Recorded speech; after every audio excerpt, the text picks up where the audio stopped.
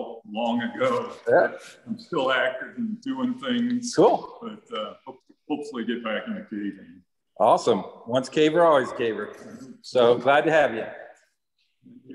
Hi, I'm Kate. Uh, I'm from Colorado. I'm visiting the grotto. Um, I'll be moving here in a couple of months, so I wanted to come and say hey and uh, join join the grotto soon, probably. Um, I went caving um, at Fulford Cave in Colorado, which is kind of a, a, it's a little bit trash, but that's kind of one of the ones that you know becomes open first um, after the bats come out of torpor. Um, so I did that. That was fun, and then some wetsuit caving in, in a cave called Spring Cave as well. Cool. Yep. Spring cave, I guess wetsuit. Yes. I guess that's appropriate. so cool. Glad to have you with you. When are you move here full time then? Probably at the beginning of August. Awesome. Well, we do have capers at the first week of August. I know, I saw that. So on the website, I'm if you're here then, that's awesome. It's a whole weekend of caving. So, and you get to meet a lot of people. So I would be thrilled. awesome. Well, glad to have you with us. Yep. Hola. I'm Hey. Lily. No caving. No caving. No caving lately. Okay. Who's behind that mask? Uh, hi. Okay. Hey, Kyle Hoyt. Uh, done nothing exciting lately. Been pretty busy with work. A little bit of camping, but not much. That's about it. Yeah. Work, work, all the fun stuff, huh? Hello, Hey. Von, Von Adams, and got to do some pretty good caving this spring. Uh, went to uh, do our annual ridge walk and tag early March, and we ridge walked for four days in an area where uh, you really don't hear any vehicles, um, maybe occasionally, and it's a long ways to a gas station. So spent four days pretty much off the grid, and uh, we were looking for caves in areas where all the known caves were located before they had GPS, and so they were well, they were mislocated. and uh, we were trying to find leads, and uh, we found a few holes. Um, and then we made another trip in April uh, for three days, and uh, we pulled some rocks out of one, and it qualifies as a cave. It's a 90 foot deep. Um, it was about a 70 foot drop, and there was another little thing went down. So the total depth of the cave was 90 feet. Uh, haven't named that cave yet. And uh, we found another cave that had two entrances that was about about 120 feet long. And um, so it was a pretty successful ridge walk. We added two caves to the Alabama Cave Survey and we verified a bunch of locations. So it was a great time. Try to go every year. So Cool. Awesome. Well, are there a lot of people out there you see around? These not in the area you're at, but no, no. Is Tennessee cavers moving around a lot, doing stuff? um, there's been a lot of LiDAR exploration in Tennessee. Uh-huh. Uh, they're, they're using the LiDAR, um, I don't know if you call it topos or whatever, to find new caves. And they've added a lot of caves. Wow. So Cool. All right. All right. Thanks, Rod.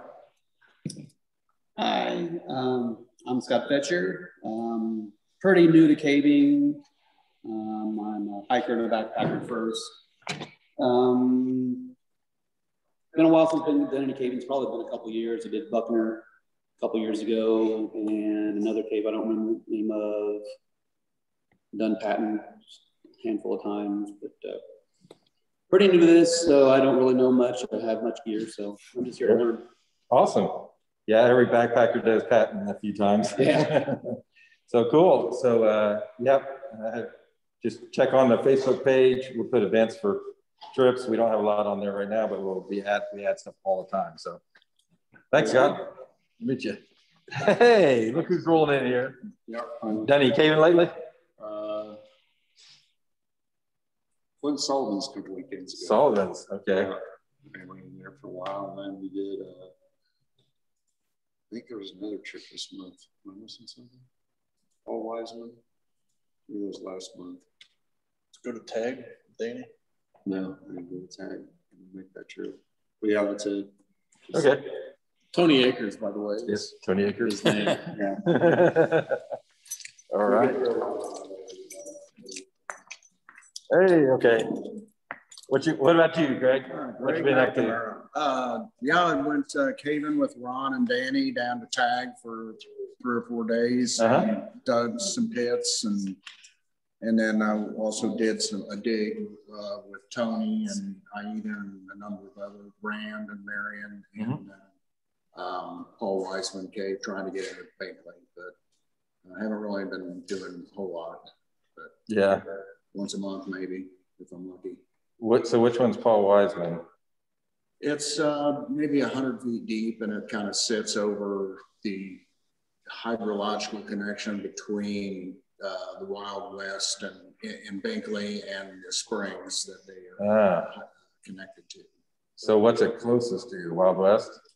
Yeah, or uh, actually the downstream uh, McLean. In, in The stuff that we haven't found yet. Yeah, no, it, it's a sump. Yeah. So the stuff in between McLean and the and the spring you're talking about. Right. Yeah, Okay. It's like five miles, I believe. Yeah. straight the Grapevine, and so I've- we've been working Cool. on a lot of holes that are. on Yeah, and then Grapevine, line. Trying to get in. So Cool. someday. Yep. Just keep digging, huh? Yeah. All right. Joe.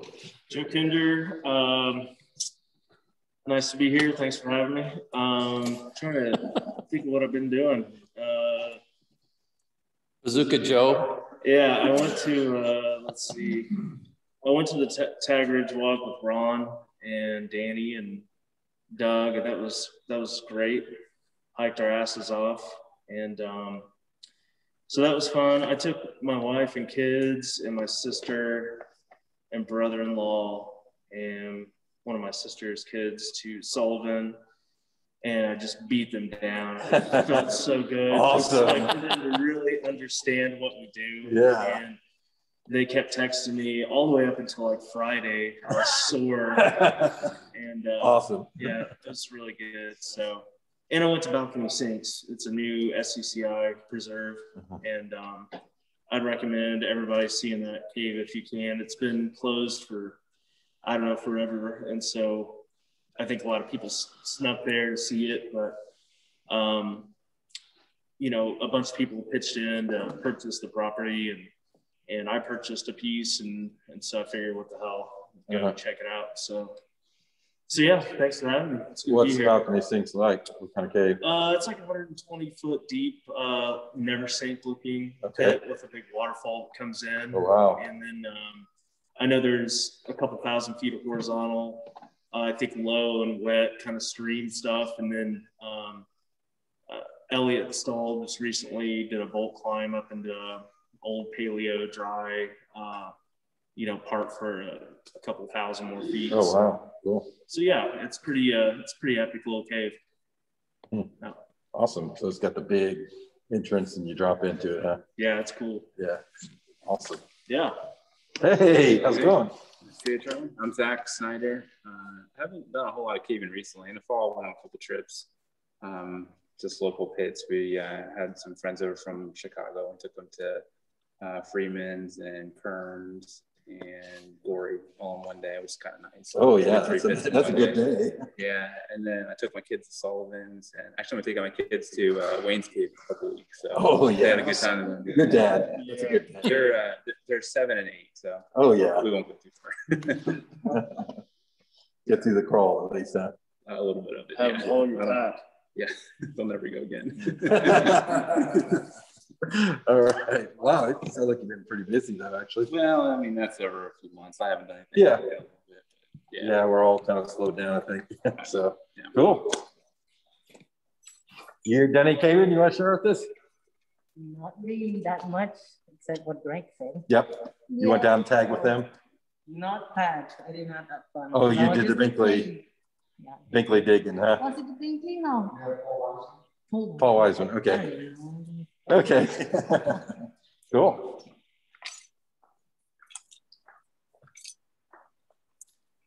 Denny Kaven? oh, name and Yes, Jake Price. Who who we have here? This is uh okay. I don't know. Rich. Yeah, I got everybody here. yeah. Ignore him. I, I went to uh, Donahue Dog Hill a couple weekends Oh, cool. ago.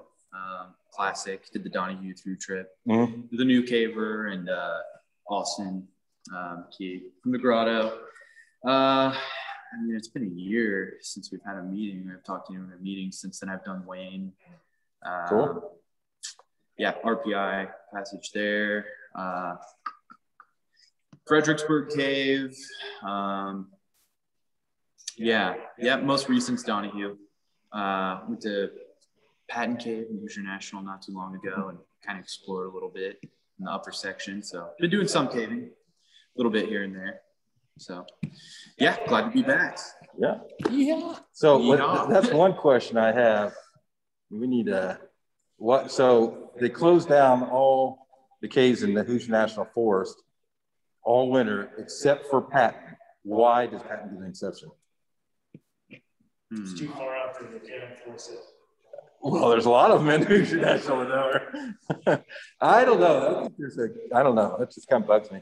I think it's maybe because it's so accessible by boat and stuff, like, and it- there's not much to it. Yeah. The forest order doesn't exclude no that. accident. Um, Uh, there's a lot of caves that don't have bats in them. You know that they closed down.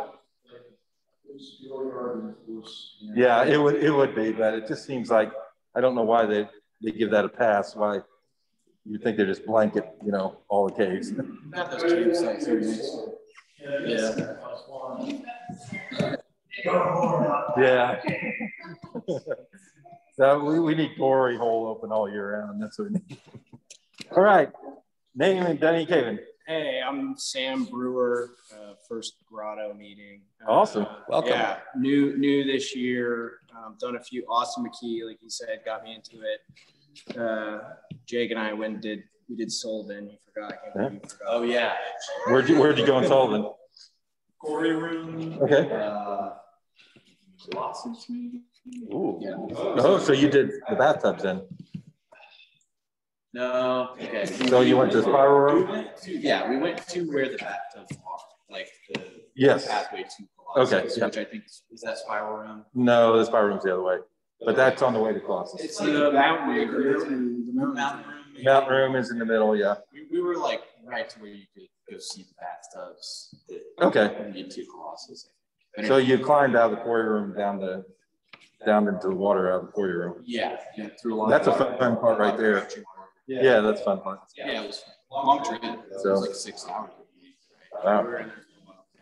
All right, cool. Well, uh, somebody just had a trip to Colossus not too long ago, and I'm sure we'll be. It was Carl and Yeah, Chris. I yeah. So a lot of people have trips in different parts of Sullivan, so keep an eye on Facebook, see stuff. So, oh, sorry to interrupt you there. So what else see? Yeah. Uh, no, I got a camping trip lined up at Lake Monroe to go, uh, you know, continue piling on Patton and uh, went down last weekend to French Lick and camped in. Oh, did, were you down there? Yep. yeah. How'd I miss you? He was there. Uh, yeah, I was around. I don't know. Well, there were a lot of people spread out there in Had the a, campground. had a hammock next to the fire spinners for. Uh, Oh, okay. So, yeah. So what'd you do there that weekend? Man, I can't name the caves. I don't know. We went, into like four of them. They were wet and crawly, right? Yeah, they tied some up, tied some up on, uh, on Sunday and then, you know, in fact, I, uh, I glamped and got a steak burger afterwards instead of making a hot dog. Oh, yeah. But, You gotta eat good afterwards. So. time. Cool. Awesome. Did you go to Dylan? Do you see with all the bear wallows in it? I don't think they're real. Oh, they're real. They're real? Yeah, th- there's like, yeah, 10 or 12 of them on that one ledge there. Yeah, they're real. There's a lot of things you'll see around Indiana that have them. And especially down there in Hoosier National. They're not, they've been there for 100 years. Nothing fresh. Yeah. Cool. Rich? Yeah, I got a report. I was, uh, last weekend, I took, uh, uh, nine other hardy souls to, uh, do the upper twin Br- Bronson Donaldson trip. And, uh, we got through the upper twin through to, uh, the bottom, the up, lower twin. Boy, that water was high. Um, yeah, yeah, it was a lot of swimming, but lots of fish. I mean, hundreds and hundreds of blindfish everywhere. Um, almost as many crayfish, one bat, unfortunately. But uh, we had an we had a somebody on our trip had a uh, had a medical emergency, so we had to uh, bail out after the after the first set because everybody was kind of cold and and everything. But because uh, it's a tough trip, I mean, I keep forgetting how if you don't have the right gear on, it's pretty miserable. But I always had the right gear, so I don't know for sure. But there were a couple people that didn't have the right gear, so. But it was a fabulous trip. It always is. Beautiful in there. Really cool. Thanks for leading that. Yeah, every year I'll do that. Cool. So, uh, only thing we got on the calendar this month, at the end of the month, is Speleofest. You guys that are new, if you're free on Memorial Day weekend, Louisville Grotto uh, does that. Uh, it's down just south of Louisville, about 45 minutes towards Mammoth Cave, and they have a campground there. And you go camp the weekend with a bunch of cavers and uh, go. There's cave trips all weekend. You sign up for them, and uh, you have a chance to go in Rockville Cave, which is part of Mammoth Cave, and, uh, a lot of cool down there. So um, if you're open, uh, anybody that's new, that's I don't know if you're still in town. Um, that's uh, that's a really great great time to go down there. You can go to Speleofest.com and uh, find the registration there. There's always a bunch of Indiana cavers that are down there, so it's a lot of fun Kentucky and Louisville Grounds, great grounds, they're a lot of fun too. So um, we don't have anything on the calendar besides that for this month, but keep your eye on Facebook. If you're not part of the group, make sure you join Facebook and check that because we'll be posting, I'm sure there'll be stuff that'll pop up this month. We'll be posting trips that pop up. Um, we had a whole bunch of stuff go this month uh, with Rich two weekends ago, and then we had 40 people down at uh, um, French Lick uh, last weekend. And uh, so uh, Hoosier National uh, Forest open day for caving. So they closed the caves from September 1st to uh, April 30th. So on May 1st, we were down there and May 1st and 2nd, and we camped out down there near French Lick. It was a really cool campground, teepees, camped in teepees, and uh, um, and we just hit all the Hoosier National Forest caves on Saturday. Um, Paul Uglum, and uh, is Paul on there? Yeah, someplace. Paul, hey Paul, thanks so much, Paul. Um, rigged up um, Fuzzy Hole and Hoosier National uh, Forest Swallow Hole, and um, for people rappelling, and then uh, um, Scott Davis rigged up Glory Hole and then we could swap people around from cave to cave so we didn't have a lot of people in one place. Um, and uh, the vertical cavers swift swapped around between those three caves and it worked out really well. Um, Paul got to uh, take the um, Rob is Rob uh, Bloomer on there.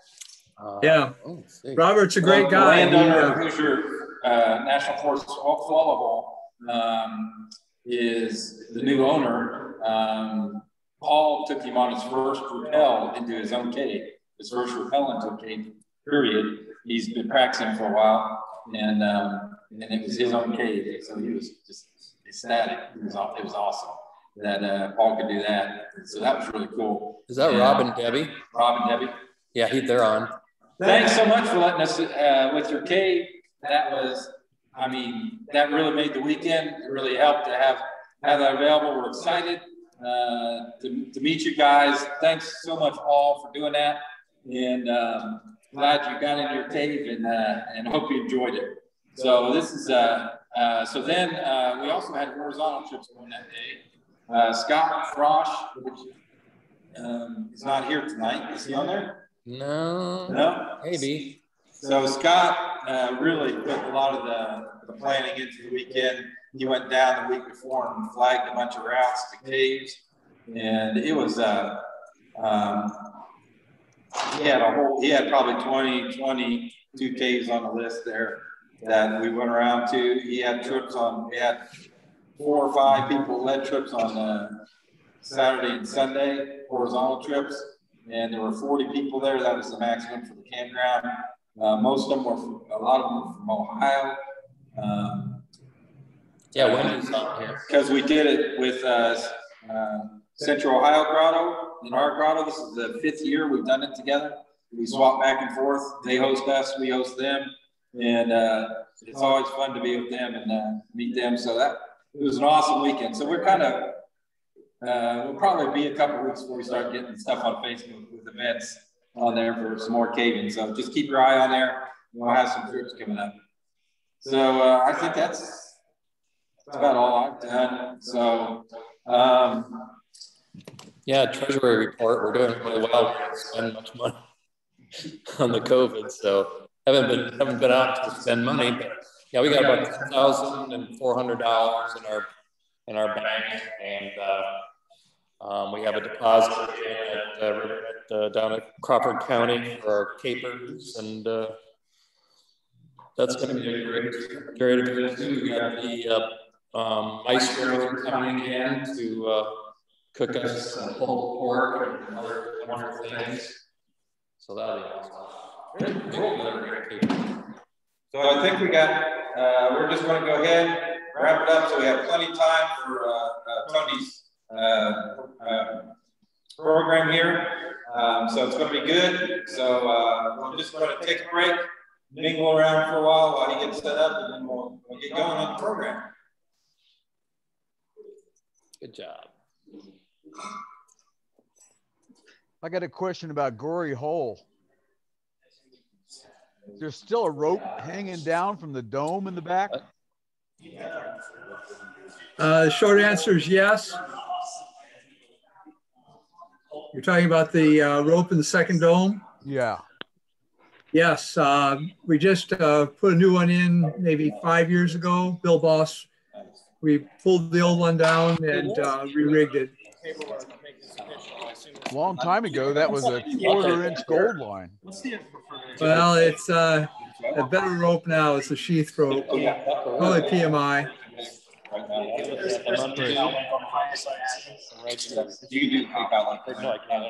There's been a number of different ropes there over the years. Sure. Okay. Hoosier National Forest swallow hole was a bit wet. It's waterfall going down, which made it fun rappel. It's a little over 40 feet, but you're in the water. Yeah. Is Parker's open? Yeah, that's cool. Parker's open, yes. Parker's Pit's open? Yep. It's got a new owner. I get an email or something. Does anybody Putting a do new it? fence around it. We have oh, fences around it. Does anybody do it back to the far reaches? Don't know, uh, but I just did- got a report it's open and there's a new owner. Great. If we're tolerant, as long as you let them know you're there, it's fine. Hold on a second. I gotta move this thing here. I'll talk. to you. Um, we got. Yeah, we're actually. Can't have any of this. Remember. It's good. We got these. You want one of these? Do you like to do these, or we have? Uh, I got a sticker. I got a wood beef that I'm stickering up over here. So Scott, Scott, whatever they call. I don't know if these are windows. I'll try it. Sure. Here, have another one just in case. What do you do? Okay. Yeah. Okay. Yeah. No, he, he, he needs a lot of our garage trips too. So. Yeah, come on.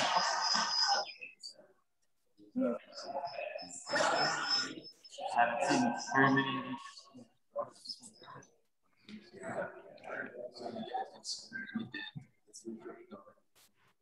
What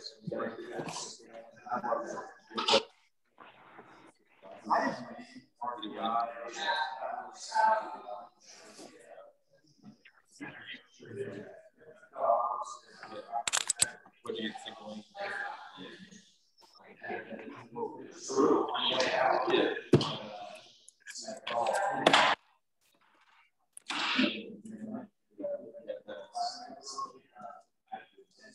Yeah.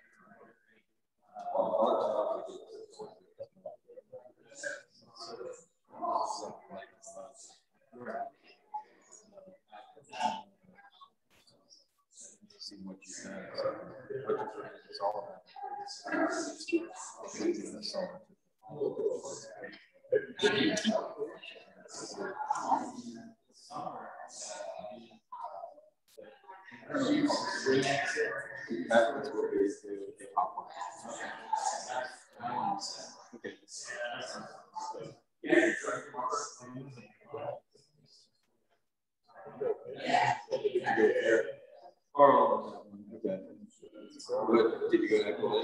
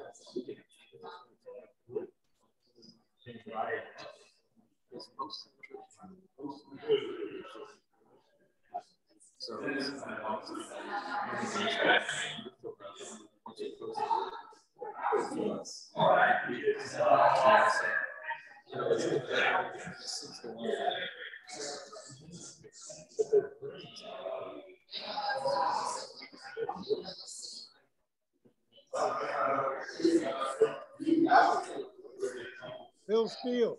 Yeah. Are you, are you living in Texas? Yeah. Yeah, I'm in the Dallas area. Dallas area. You ever see Gary Napper? Yeah, occasionally, sure. He lives in Austin, but I get down there more often than he gets up here. Yeah, I see him. He's doing all right. Yeah, he's fine.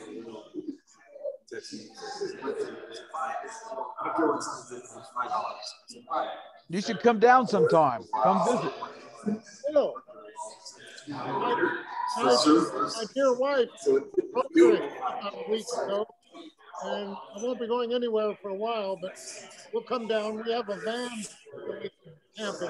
Okay. I'll take you to uh, bring a wetsuit, or we'll rent one for you, and I'll take you to the longest cave in Texas. Swimming, zero gravity. Well, at least it's level. Yeah, it's fun. If you swim in a thousand feet, the biggest room in the cave, uh, you can climb up into it. Yeah. What, fun. What is what is the cave behind you? That picture. Huautla, Sistema Huautla Yeah. in Mexico. That's the that's the gigantic room. Uh-huh. half again the size of a dome stadium. And it's got a thousand meters of rock above it to the surface. A long trip to get there.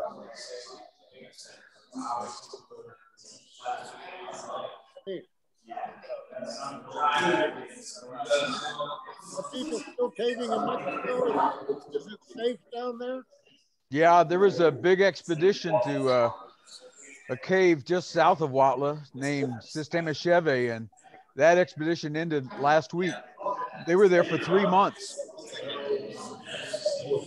People keep people came for a month at a time. There were a handful of people that were there the whole time, three months.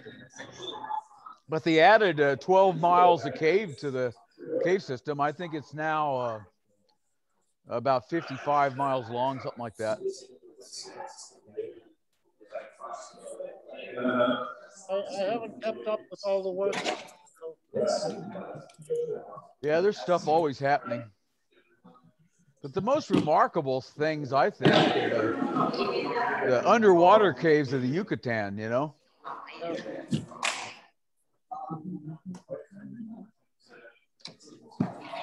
Are, are you giving a presentation tonight?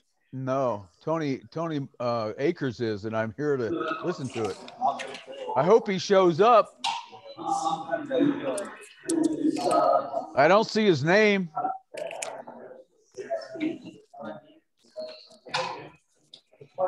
I think he's there in person. Oh, that's right, of course.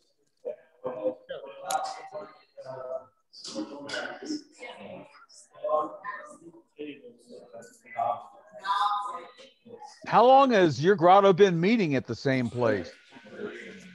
About 60 years. God, that's what I thought. I think I attended a meeting there about 50 years ago. Yeah. Couple Yeah, it's been forever. they used to go sneaking around the building. this is the old. This is a uh, First World War memorial, and uh, it's made out of stone from all the all the Allies countries that that got together and uh, knocked out Germany back in the First World War. It's a pretty amazing place. They have a full museum down in the basement of, uh, with uh, you know helicopters and and um, all sorts of um, you know old stuff from every single war that ever affected Indiana. So it's pretty cool.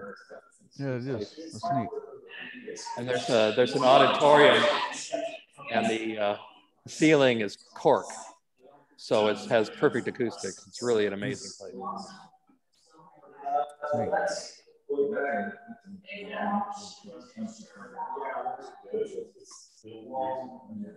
Yeah, that's just uh, that's just to get on Wi-Fi. Yeah.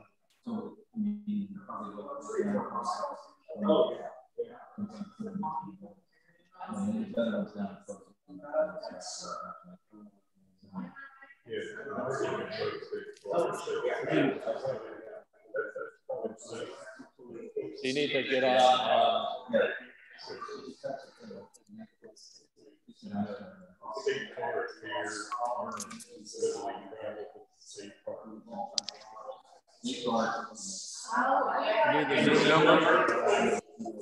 the meeting number? Oh, Hold on, let me mute these guys. Not-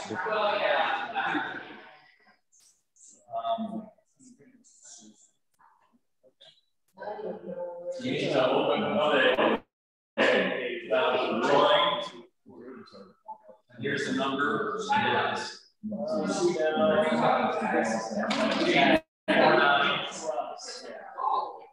Five, eight, six, nine,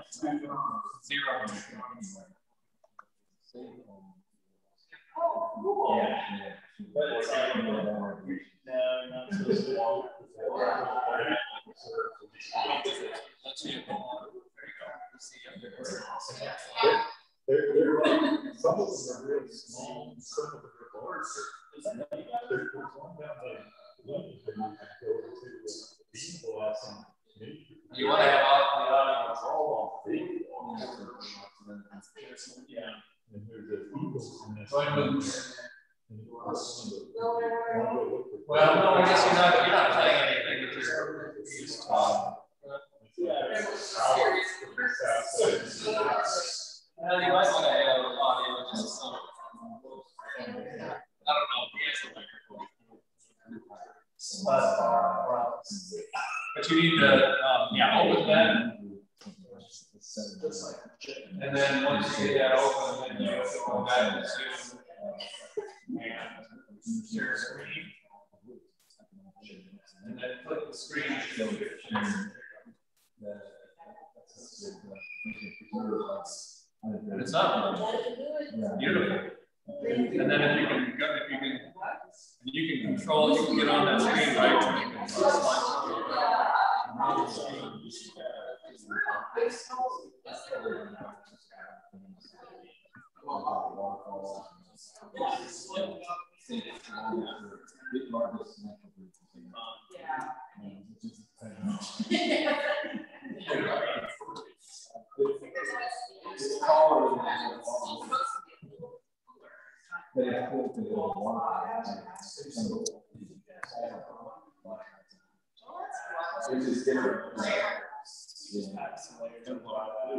And when you change it, well, that's like two hours.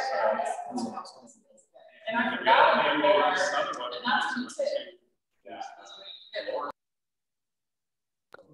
Down by, uh, Brett. Do you, we don't still need this, do we, Charlie? What's that? Do you still need this? Nope. Uh, no. Yeah. Maybe, yeah. no.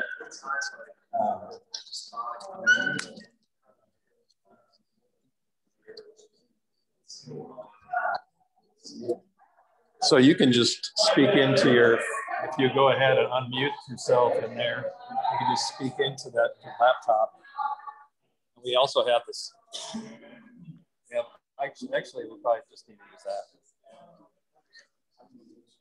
Yeah, use that and that'll, that'll come through your other microphone.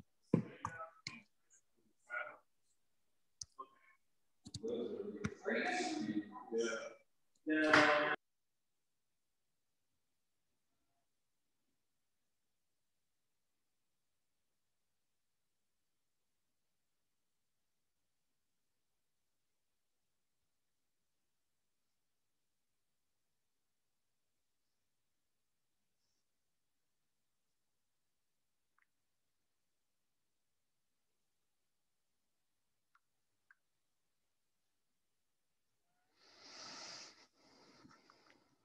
I lost my sound.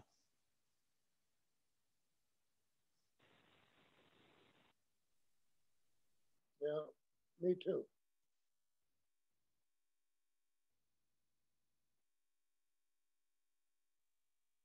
Yeah, because it'll pick up the sound and everybody at home will hear it. So there's something else to stand. No. Wherever you want to stand, whatever you do. Just use his microphone and I think everybody hears it pretty well from there. Okay. And maybe stay while you Yeah. to speak there. Like no. I'll find out and I'll let you know if you can't hear something. Okay, yeah, let me know if I need to speak up. Do you have this ready? Is that the? Yeah, that's the slide.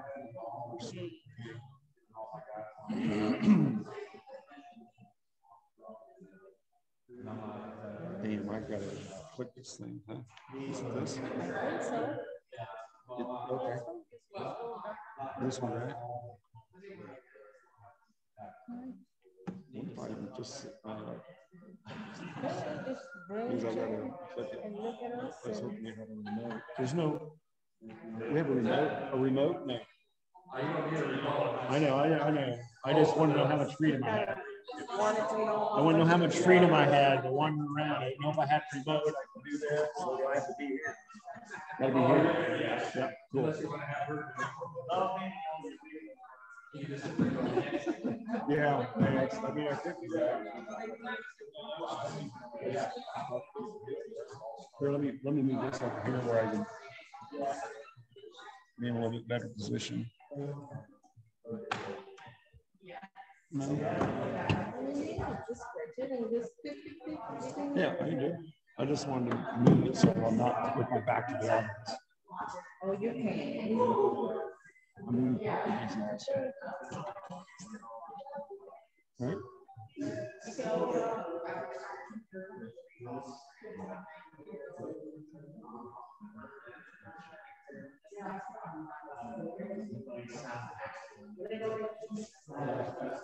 Okay, you guys, I think we're almost there.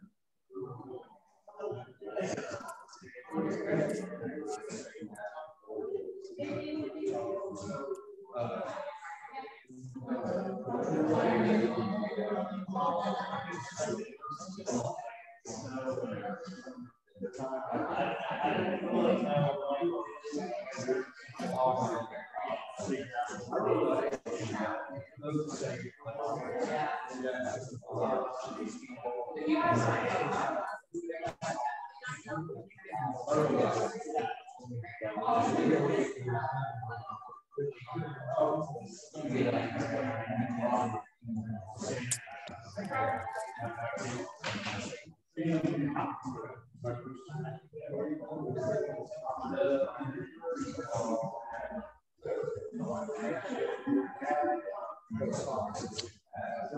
Ada, can you uh, go to full screen on this too? Or does that screw everything up? No, I mean, in the program. No, no, just to the program.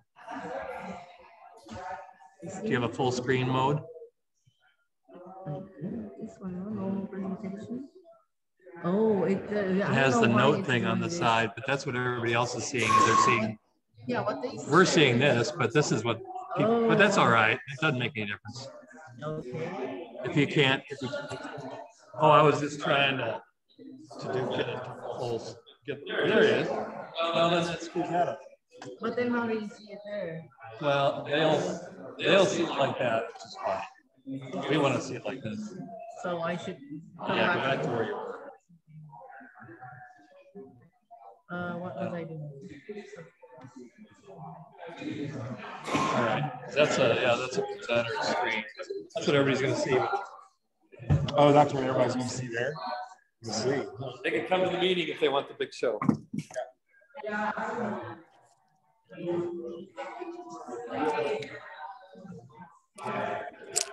Oh, there we got it. I think I got it. All right, yeah, beautiful. Ah.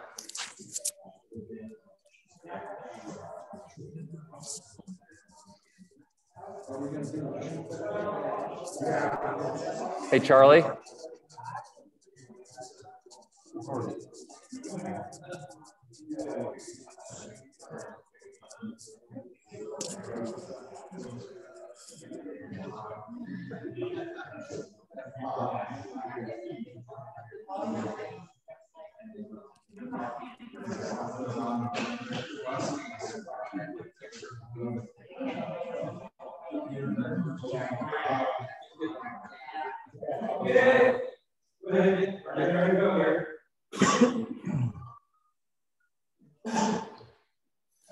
All right. I'm on, ready? I guess I'm. no, that better? Yeah, it's on now. Okay. All right, Rich, thanks for inviting me tonight. Uh, I have to admit, I've been super busy, so I'm kind of unprepared. I was going to show you some of the history of uh, Rio and Rio, uh, Sierra Madre. And I started looking at the show, you know, that show going in 2011. And then uh, two years ago, I was invited to give a presentation at the Festival de las Cuevas in uh, Huautla, Mexico. And um, the show was canceled. Uh, was canceled uh.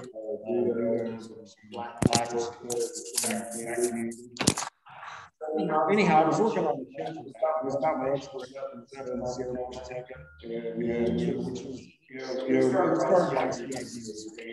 was ideas of Danny, actually James, Greg, Dan, and pursued that for a number of years. Started big, big. This part, this part was more when the previous Mazateca kind of which was just me and uh, we had on his son. Um, he was really young, baby, so we, you know, started from that. It was almost like looking at this thing. You know, a lot of times are thinking, all the guys are here and um, helping me, you know, my family and my son there in Sierra Tech. I mean, look at this thing, and I'm thinking, wow, you know, look at something, man. He's a little kid. We don't even you know, and you guys really um, that's got a lot. So anyhow, we're going to start in Los Angeles, Texas. It's in North and Park is also in San. It's a timber cloud forest with elevation 2,000 meters. Uh, the upper region has some virgin forests. A lot of them are Francisco have been. Still find some native timber in certain areas. Uh, they speak the native Aztec language there. Um, the descendants are from ancient cultures. Uh, there's a lot of shamanism and psychedelic mushrooms are used for healing. And over the years, you know, I've had honor to know you know, it's amazing how they actually do the mushrooms more of a psychological medicine, you know, and, you know, for your mental state. You know, just teach you to look at things different. You know, something that, even though I haven't done a lot of it in the Sierra, you know, it has taught me to take negative things in my life and be able to look at it through a positive way. And, uh, you know, one of the stories I'll share with you real quick, my compadre, uh, I was there, Marion, on the way at their house, and Marion's grandmother actually died on her birthday. So we're his house, Marion's all upset because grandma died on her birthday, right? And, you know, she was down with and I went to tell Waldo, I was like, Marion just got news that grandmother died, you know, and she's really sad. And the whole family were like, what? She's sad. What do you mean she's sad? That means she takes your place. Marion um, to be able to that head go wow, okay, yeah, I'm my grandma, you know, it was just totally a different way of looking at things, you know, in a real positive light. So that was one example I can give. Um, there's a lot of coffee and sugar cane are the main industry there, and the area is famous for some of the deepest caves in the Western Hemisphere, or I believe, you know, the deepest cave in the Western Hemisphere. So when we first went to this area, uh, Joe Tina and I, uh, we, you know, we're looking at some maps, and of course, this kind of map really wasn't available back in the day. Is 1994. Uh, these are a couple areas that were just located. The system of San Augustine, everybody knew where that was. Uh, the Cueva Peña Colorada. Um, there was Kijahe Xontjoa and the Nacimiento Rio Oloapan. Um, the resurgent spring up at the top there, um, that was kind of known. I mean, it was back from, I think it was some of the work uh, that Pemex did in the area, and they knew there was a spring there. The lake that is there was actually a reservoir. So there was a time in the past where they knew there was a big, massive spring to come out there. And the Cafetal Carlota, we didn't really know where it was at that point. This is what we discovered on this trip. So you start heading uh, from you know east going west, the first thing you'll see before you get on the Sierra Mazateca is the Cerro Rabon. And this is uh, off the lake that, you know, it's not actually on the earlier map, that resurgent spring is, you know, would be up in this direction from the plateau itself. Really beautiful. And there's a cave, uh, famous uh, cave resurgent spring, uh, Rio Oloapan, that's uh, at the base of the Cerro Rabon. This is a picture. This is this is relatively high water coming out of there. And um, you can see how much water comes out of this thing. So like this thing is so scary. Like when you walk up the ledge, I mean, you, you know, the, the bank there, I mean, it, you don't want to get near it, right? Because it's like if you slipped and fell in that thing, it'd be over. So there's another picture of it. And that after it goes under the bridge uh, there, it kind of all crunches down to the smaller spring. This is what it looks like normal flow. Like, you know, a couple pictures back, that picture is essentially that, but this is when it's regular. really fun place to go swim. So once you pass the Rio Oloapan, you get closer to Cafetal Carlota. This is the from the west looking east at the Cerro Bone. Looks like a big elephant's head. So this picture was taken from 94. This is Joe Oliphant in his truck, and this is kind of what the road, this is actually the, the main part of the road going from Jalapa del Diaz to Huautla. It got much worse than this. Pretty sure we were the first people to traverse the entire length of it. And this is on, uh, would be outside of Ayautla, between Ayautla and Cafetal Carlota. And when we got to Carlota, well, we didn't actually stay, we didn't actually go to Carlota because it was off the road. But Joe Tina, and I were camping along the road, and this guy comes walking down the road. He's like, you know, you probably shouldn't stay here. It's not very safe. And he was like, why don't you come and stay at my house? Where every house we went by was, you know, just like a little wooden hut, dirt floor. And we were like, you know, well, we got our tents. We don't really, you know, we're good here. And he was like, no, you should really come to my place. So Joe and Tina were like, look, we're cooking our meal, we're staying here. So I followed Waldo down to the, ranch, and uh, lo and behold, it was a, a coffee plantation. It had been, you know, he was still working coffee out of there. But this thing's a historical landmark, actually. It was just kind of lost in time. And it's a picture. And over the years, there's been lots of cavers here. These are, you know, a lot of different people responsible for these photos. This was by Don Broussard, who passed away recently. I Had the honor of having him down there too. So this is an example of the, what the road looked like, you know, when we traveled through and we were actually, you know, we came down along the left side of the picture there. And it was, you know, about as tough of a four-wheel drive road, four-wheel drive road that you could go through, right, Greg? I mean, we almost drove off the mountain, you know, would have been sure death. So that was during the Cerro uh, years. And that's part of the show that I'm still working on.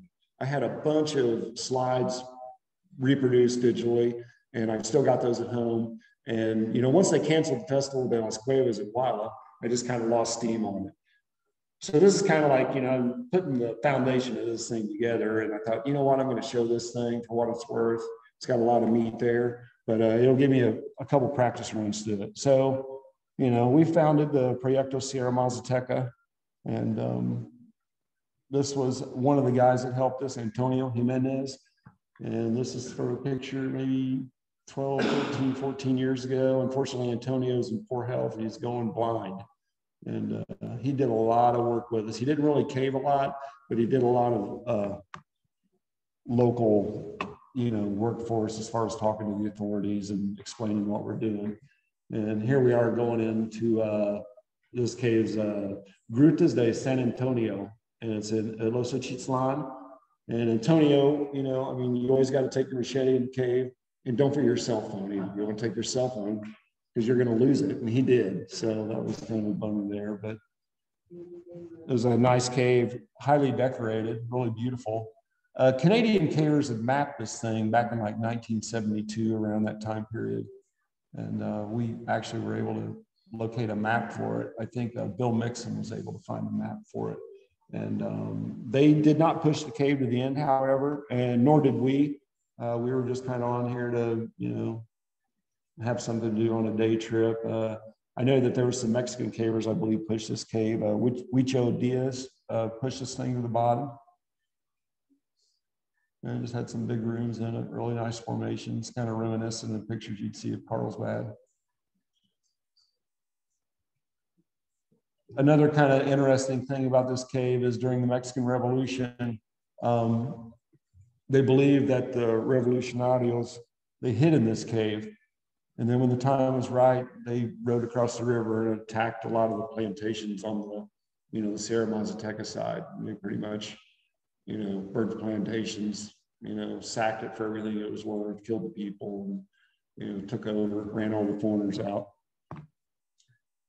And this is another cave that Antonio took us to. It's a Cueva de Santa Rosa.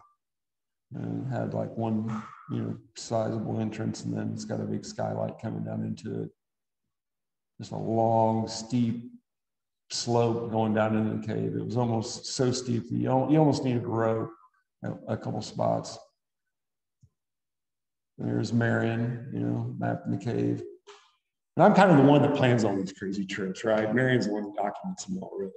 So without her, I mean, I wouldn't have a lot of the stuff I have.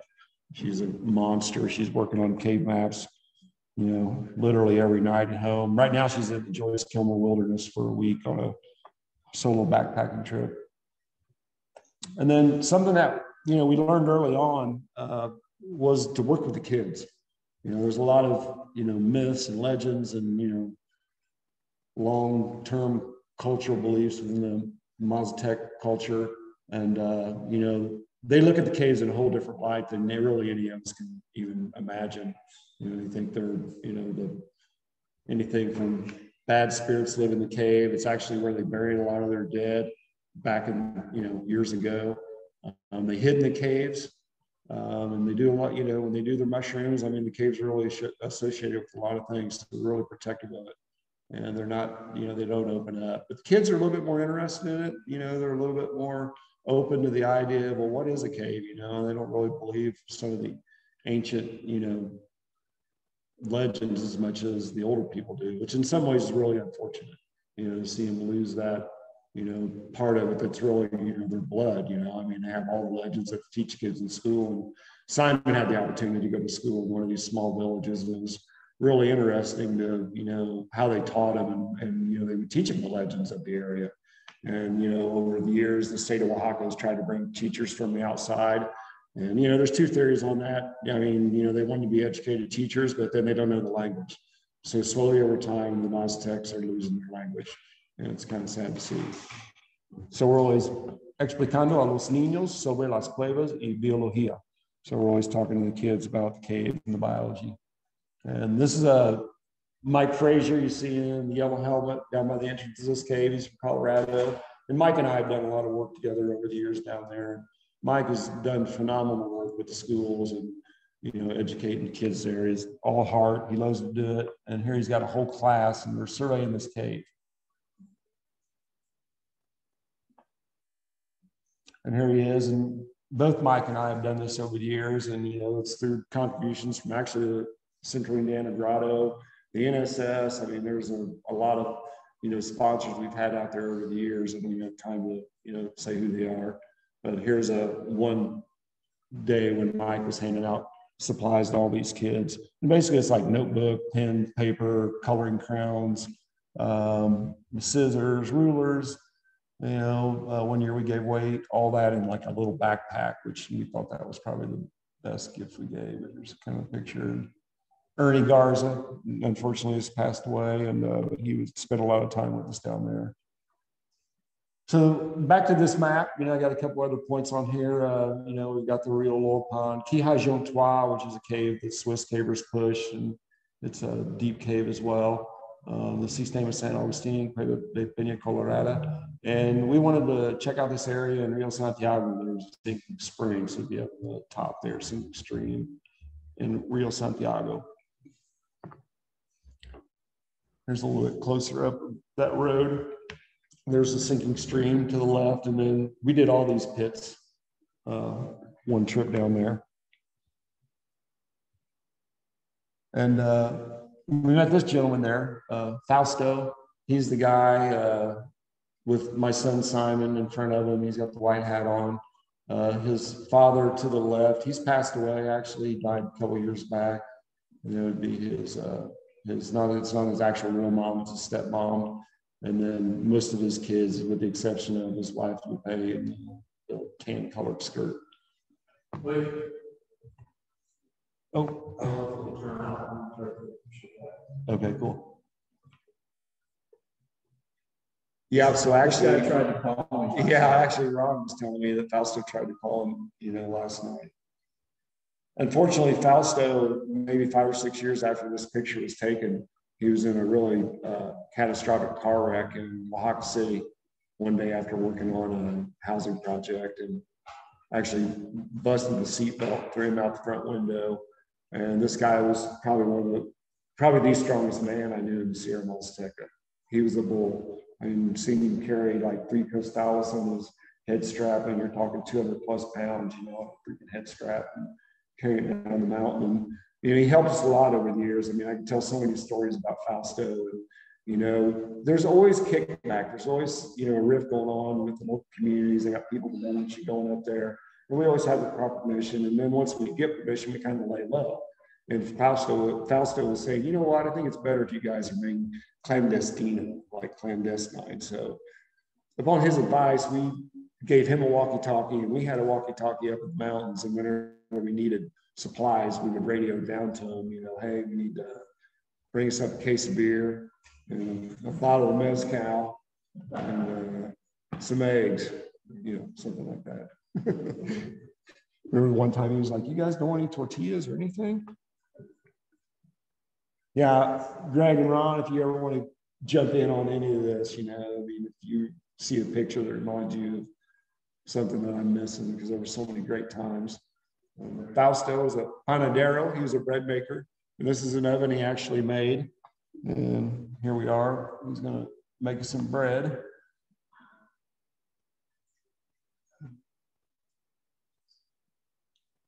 Yeah, it's pretty unbelievable how long it takes for that oven to heat up, even with that wood in there like that.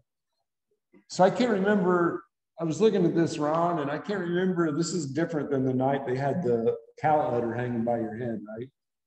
Wasn't that you? Like you had, remember they butchered a cow and like this cow udder was hanging right next to your head. I think that was at Marcos. This is the bread thing. I, I need to find some of those pictures because this is right around the same time period. But yeah, that was a memorable trip. So this is another time we actually went there and we were making pizza with Fausto. And we had all the ingredients that you want on a Mexican pizza, cheese, oil, and jalapeno. It was pretty freaking spicy, let me tell you. And he never made pizza before. Roland Moore was trying to teach him how to make pizza. So here's some shots, you know, just a, this is uh, a Sótano Panadero. And this is actually when I first met Fausto. He caught me while I was in I was in his pit. I was showed by a landowner this pit, and he told me it was his. And of course, he left. I went down the pit. I'm coming out in the rain, and Fausto's standing there waiting on me. And uh, we went back and uh, did this the following year. You can see Simon in his one piece set harness. I can't remember how old he was then. He was pretty young. And this is at the bottom looking down another pit. It actually went down this pit. And then we went back later with Elliot Stahl and Rob Spangler and went down even another drop after that. I think it was about 100 meters deep vertically.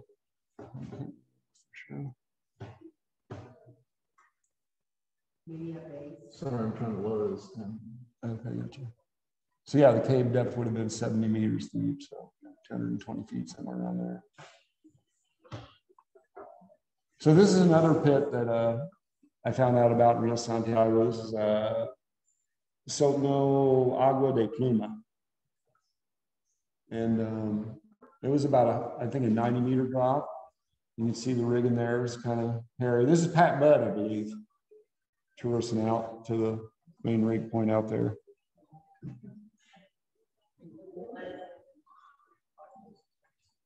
So this is, uh, yeah, 89.9 meters. So we always have a lot of fun out there. This was a one particular day. Disfruta la naturaleza. And uh, Simon was getting a kick out of this. And what was really funny about it is that Simon was holding his fingers behind his back, and Mike was guessing how many fingers he had up. But Rick, the dude behind Simon, was telling him, you know, so Mike was guessing every time, and Simon was just floored, like, how does he know? You know, how does he know? know? You know, so he's looking at it like total like disbelief. he was like putting that leaf on Mike's head, just kind of shutting back. Yeah. Mike was like, seven, you know, no way. yeah, it was pretty funny. Oh, so anyhow, we were going to this cave, and literally Fausto told me, he goes, I got a nice cave to take you to. I go, well, how far away is it? He goes, two minutes. I'm like, look, man, two minutes is across the road. There's no way this thing's two minutes away. So it was like two hours later, you know, he takes us in this thing. And it was pretty cool because it's like 100 meters long, but it's all canyon. So you like rappel down into this thing and then just like open roof. And you're going along the floor of it. You had to rig, you know, certain areas of it. You see how this area's got steep. This is the map of it. And that's one thing I, you know, got to give Marion tons of credit on. I mean, I think we've got like 98% of all the caves we've documented and explored there on paper and on map, you know, and that's that's a huge thing for a project to have. So here's another one around Fausto's house, Sótano del Perro, and it was 43 meter deep. Uh,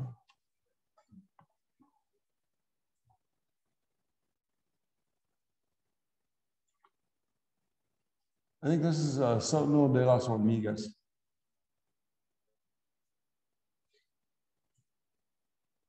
Uh, yeah, I don't know how to get that bar off Is it even on here?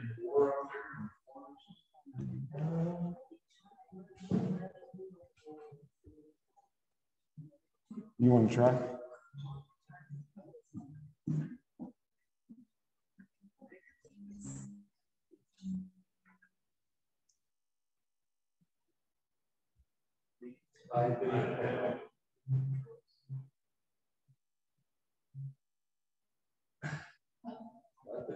Don't want to. Oh. Yay. She did it. Okay. There's Andy Armstrong. Um, I can't remember the name. Yeah, Rupasucius. So there's a bunch of pits around Fausto's house, and then we were taken to this cave, uh, Cueva de la Sorda, and um, the name La Sorda came from a snake that we found in the entrance. And at the time, all the locals were saying it was La Sorda, but after we took really good photos of it, it was identified as a, uh, it'll come to me. But there's like only one known, known in captivity in the whole United States. It was a super rare snake. Um, so we got really good pictures of them. I don't have any in my show right now, but we did get all that verified. And I'll remember what the name is for the night's done. This is a picture of Mike looking down one of the pits in uh, the La Sorda. It's a pretty complex cave, you know, and there was a bunch of pictures that we had that, you know, aren't in my show that I need to add to this show. There's some vertical work, of course as in all the caves there.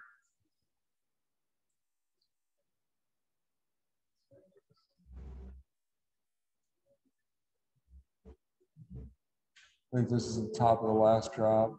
Yeah. Yeah, at the bottom of the shop, it goes into a really tight crawlway and Simon pushed it all the way to the end on this particular trip. So, you know, it's kind of scary when you got your kids somewhere and they can't, you can't get to them and you're in the middle of nowhere in a cave in Mexico. And all I'm doing is saying, be careful, be careful, don't do anything stupid. And I think when he's back there, it's kind of stupid because I can't get to him. Yeah, yeah, where's it go? What's it do? Come back out. No, go back in. Is he faster up the road than you are? Oh, yeah. Yeah, he held the world record for like 12 and 13 and 14, 15. And he was, yeah, he's fast. I think he climbed at NSS two years ago. It was like a minute 23 or something, 30 meters, 100 feet. Hey, Tony. Yeah. Go back one slide. No, wait, okay, maybe this is the next. Oh, yeah, it's the next one. Yep. Here, you know, picture of Ron sketching. There's Adam Share. Adam just called like two minutes ago. Oh, really? Yeah, I, I will not call answer it, but it's kind of ironic. I don't talk to him that often. So this thing's on some kind of automatic forwarding AIDA. How do I get out of that?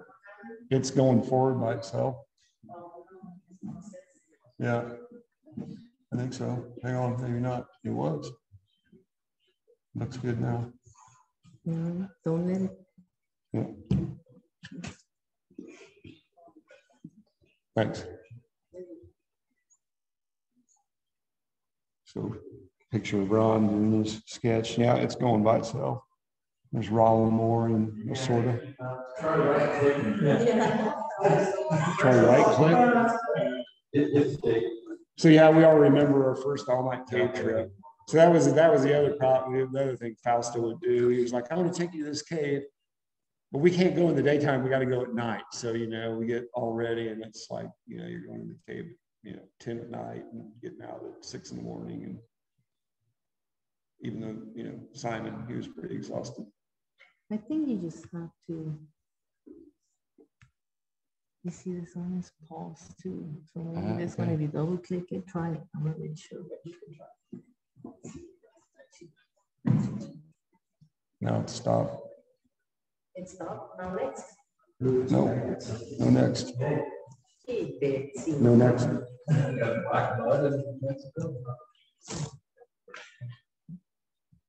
Yeah, a lot of that black man's back, uh, back Sorry, auto. that wasn't it. We'll go now. That shouldn't control. uh, There it is. Computer. It Okay. should not. Okay, uh.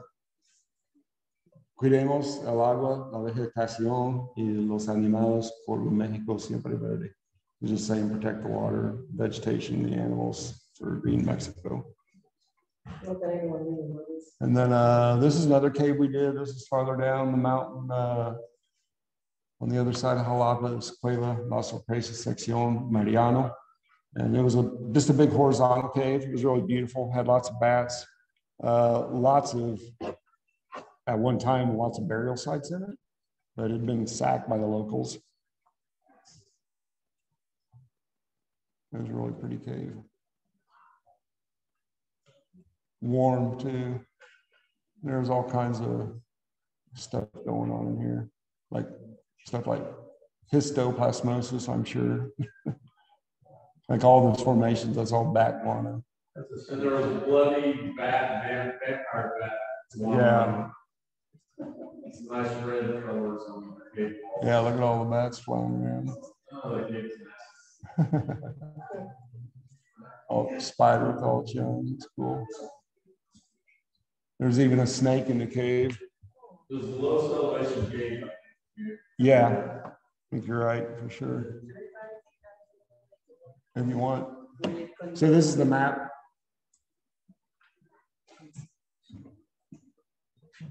Of the La Sorpresa.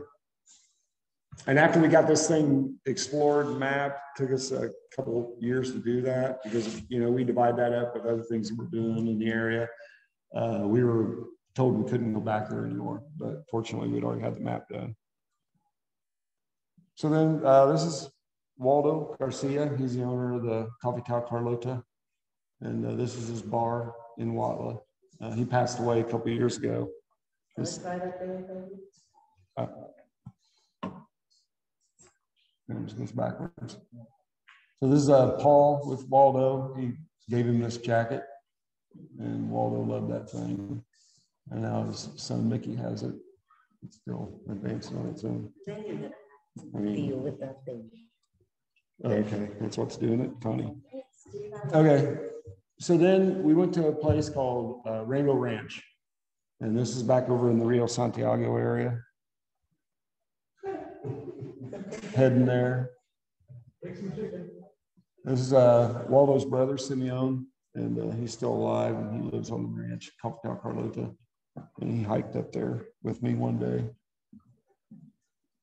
And so we're hiking. This is the owners of the house we stayed at. So Mario on the left, he used to live in these houses and he uh, cut timber up there. And that's his wife, Paulina. And once they got electric to Rio Santiago, pretty much everybody moved down the mountains, went downtown. So they have, he has a couple of abandoned houses up there that, you know, we were able to stay in. We paid him rent and uh, that worked out quite well. This is our hike in. We had burros. And uh, you see the guy in the middle, Braulio, he's the local drunk, but something about Braulio is he was a hard worker. He was always working. Even if he was plastered, he was working. And uh, he wanted to go up there with us, and we got him to carry this rope. It was more like, look, man, if you're going to go up there with us, you're going to work, you're going to carry something. So we just kind of threw the rope on him, he didn't like it. He was not liking it, but he never turned around and left the rope. So he just wanted to see where we were camping. So Ron always brings his guitar on the expeditions, which works out well because he entertains us at night with music. Simon driving the burros. I learned after a while that the burro wouldn't respond to anybody else yelling at it other than the owner. And you know, like if he heard the owner, like Marco's yelling, not only think Marco was the owner, I think it was a friend of his, but he knew Marco's voice, the burro would take off running. So I noticed if I could, you know, do Marco's voice, the burro would run. Like I would try to imitate Marcos and think if I get all scared and take off. We had a burro wreck up there too, I think that tripped. Didn't one of the burros fall and we had to take a bunch of gear off of it and stand it back up. Yeah. So yeah, this is actually under this uh, rift area outside of the wooden house we stayed in. Some people camped, some people had their tents up, some people stayed inside. And uh, this is kind of a funny story because I remember asking, talking to Mario about what was it like to live up there? And he was like, sometimes it's so cold, you're just sitting up there in a trash bag, staying warm. And you know, lo and behold, this is what happened to us too. We were up there in trash bags trying to stay warm. Yeah, he's showing off his wooden spoon that he made. So he carved that spoon out of some stick he found up there. So. It's. That, table's like two tall yeah. yeah, it's perfect for him. So this is Ron with the Ron Aritas. So we had these citrus trees, like there were old citrus trees on the, the homestead there, and we would go take the limes off of that. And we had alcohol up there, of course. This is the year we had the radio with Fausto, so we could order anything we want. He would bring it up at midnight. He'd like bring burros up there at nighttime so nobody knew that we were up there.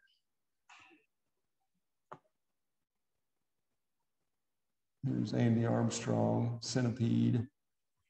This is where a singing spring uh, in that area. I pushed that thing. I mean, it went through some really gnarly breakdown, and I could hear the water water trickling down farther below me, but wasn't able, able to follow it. This area could, you know, it's got some caves to be found there still. You Our typical survey scene. So I believe this is, yeah, this is a cave that Mario took us to. It was called uh, Sótano Espiritu de McLean. And that name came from Tim McLean. He was actually trying to come on this particular expedition. And that was the year he passed away in Binkley Cave. So he wasn't able to do it. We knew that Tim had died, and then we just, you know, we found this thing. It was just such a beautiful place out in the middle of the jungle. You know, nobody had ever been there. Like everything we're doing out here is all virgin exploration, like it's original exploration. Was maybe the locals have seen, and a lot of locals have taken to us. You know, there are things we found on our own.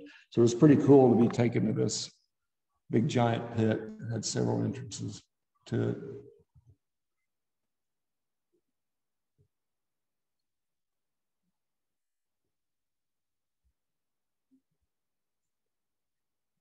And this is actually another pit. I think it turned out to be around 30 meters deep. And that was at the floor of the main giant entrance shop, Sótano McLean. And we pushed at the bottom, it was just dead pit. You kind of see how big it is. And the guys up there on the rock, kind of at the center of the picture, they could go behind them and go into another pit complex back in there. Uh, this is Paul Moselle, I think at the top of uh, uh, 50 peso, 50 peso pit, where you dropped a 50 peso bill down the pit, and then he was able to find it later.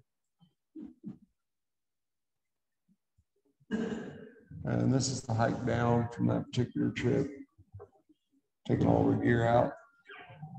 And there's another time when we handed out. I think this was the one we bought a projector for the school there. And this school had actually become abandoned. And this guy right here, Lorenzo, he went in on his own dime with his wife and they opened the school back up and start teaching the kids there. And, you know, he's still there today. Yeah, we bought him a check. The, actually, CIG donated the money for this projector. And we talked to the teacher and found out, you know, what do you guys need here? What, you know, what's the most important thing? And he wanted a projector so they could, you know, instruct bigger groups of kids at once. And this is the local uh, taco stand um, that we always eat at, really good tacos. And then this next one looks like Proyecto Sierra Mazatec 2014. We're back in Rio Santiago. Um, that was the year we went up with Marcos. There's Marcos right there with Ron's guitar, burro loaded down. Yeah, going up again. There's some of the citrus trees. And uh, Mario would come up there and he had this big cut on his hand. It was really nasty and infected. And Andy treated him, first aid, cleaned it up. Um, check out that saw so you can see how much they've resharpened that thing over the years. Originally, it was, you know, the high end there. And these are some of the posts they cut. Look how straight and smooth those things are. They cut them and they shave all the bark off of it.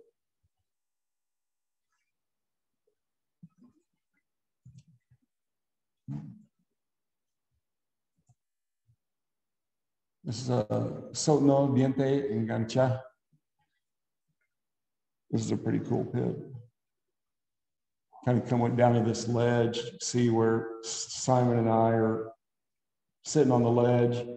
We drove, we put a bolt in there too, we clipped into the bolt so we wouldn't fall off. This thing's going crazy on its own again.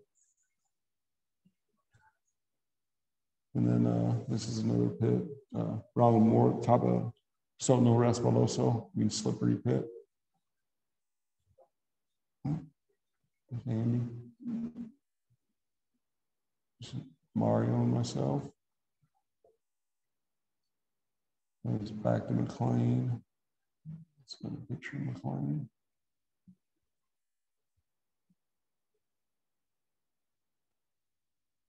So all these pits were in one area. Are doing pits for several days there. This is a spring cave. It was a little bit lower down the mountain. Hmm. Archimedes, uh, that was a pit that we didn't get to the bottom. We didn't get to the bottom. We ran out of rope. It was a, it was a pretty scary pit, actually. It was nice. There's Ron at the top of it.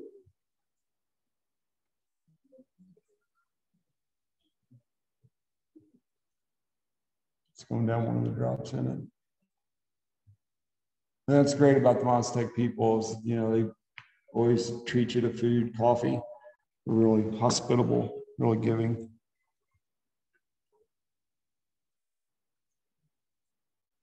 So this is 2015 expedition. So here's some of the conditions you can be found in up there. This like, you know, white out. Essentially, you got typically the passenger is hanging his head out the window, screaming left, left, left. And, you know, the more he screams left, obviously, you know that you're going off the right hand side of the road, but the whole car goes into panic. Everybody starts screaming. And I mean, it's literally the only way you can travel up there when it's foggy. Here's where we went up 12, 12 days up there back to the house.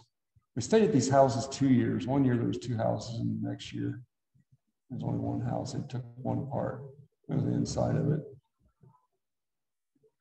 Like I said, not everybody stayed inside. That was kind of our kitchen.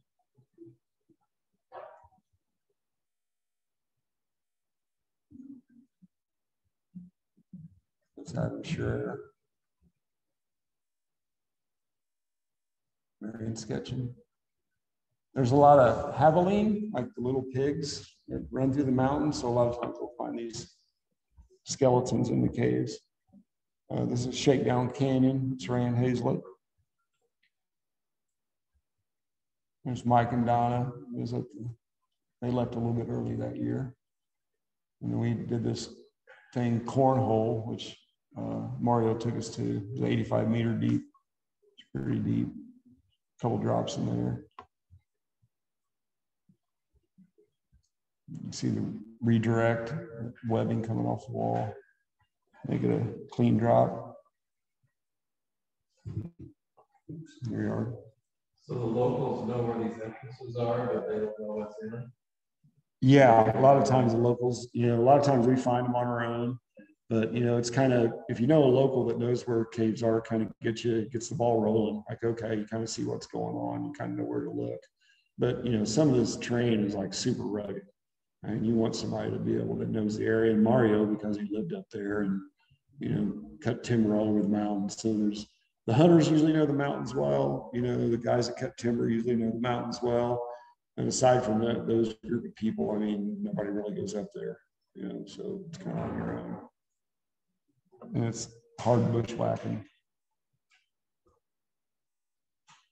This is a pit we found. Uh, actually, Mario took us to this one called Cinco de Mayo. And you see somebody hanging on a rope there. These are Ron's pictures. Some big, somebody at the lip up there at a relay, I think.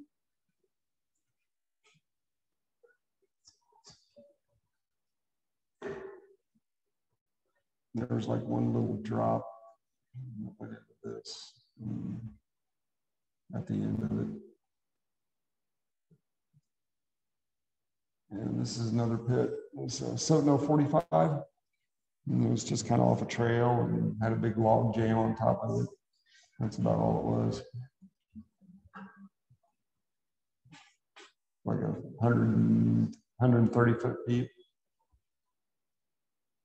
And there we are back in the kitchen. Must have been cold that night. Mm-hmm. So then we moved to uh, 2016, took us to Cerro Caballero. And these are some shots where you're going to see a little bit more of all that goes into as far as when we go up the mountain. Um, this this expedition and the next one.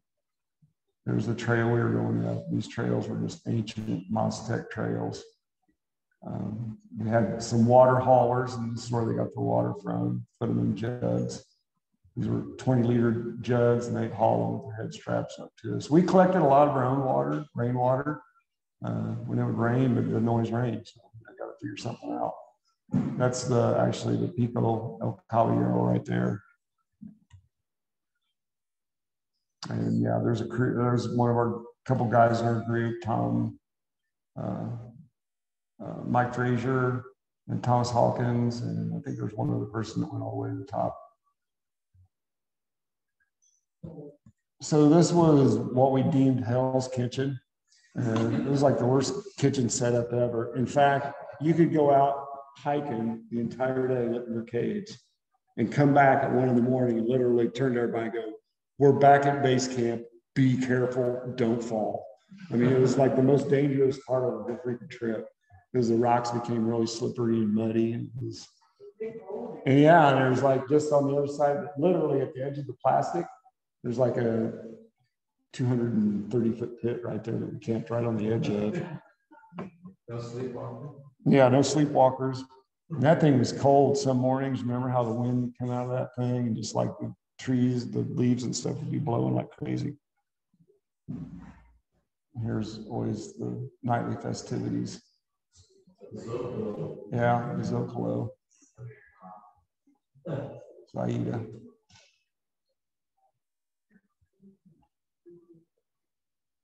So yeah, this is a chop fest. This was to establish a base camp for the next year coming up. This is all cilantro. It's mountain cilantro. And uh, it's not actually even in the cilantro family, but it tastes like cilantro and it's really good. So we would pick it and take it to our uh, camp and put it in our food. This is on top of that peak, Cerro Caballero that I was telling you about earlier. Somewhere, oh, there it is. There's Orizaba off in the distance. You kind of see it in the middle, right in the middle to the left of the picture. It's a 18, like uh, 18,000 foot high mountain, I think. So, somewhere around there. Oh, snow on the top? yeah. No, there's snow. You can see it right there. See the snow on it. It's right, right in the middle to the left. There's another one. Yeah. So this is just kind of like what it looks like chopping through the jungle. You know, there's a better picture chopping through the jungle. Sometimes it's just like so thick and you're just trying to get to some sinkhole you've located on a topographic map. This is the pit right next to camp, uh, Sótano de Serpiente. Uh, in Mazatec, I think it's. It's at the bottom. We did catch it. We did set up a water catch system at the bottom. We really never used the water out of it, but we went back and cleaned it all up and we'd collect a lot of water. Uh, this is a head wall that we located in the jungle, and one end of it, we went down a pit. Um, we called it uh, Mi Esperanza. Thomas Hawkins found it. See some of the folding limestone.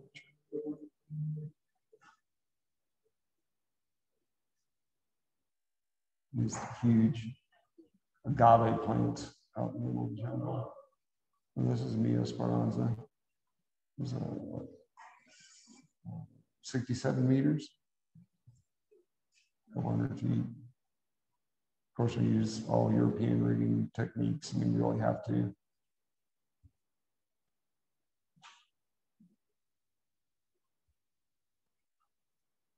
So you at the bottom.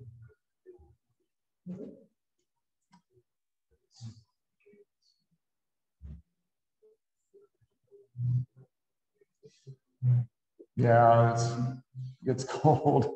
The waiting is the hardest part. Just wait and wait and wait. Here's back at base camp, Bill's kitchen. Everybody is a free for all in the morning. Everybody just pitches in, starts cooking or cleaning. There's Jorge, he's a great guide, really helps out a lot. And here we are back at the ranch after the trip, having some beers. There's Ernie. Ernie was always a big positive influence on everything going on down there. So this is a cave we uh, went to, Boca Fea. Actually, one of our friends in the area knew about Boca Fea. It was on his uncle's property who didn't want us in the cave. But he was going to take us to the cave and show where it was. And he was going to guard the entrance in case his uncle came by. So we went down in this. And it was, you know, quite a nice cave. A lot of vertical, super dangerous. Everything was loose. It was pretty scary. And then here we are passing out more school supplies.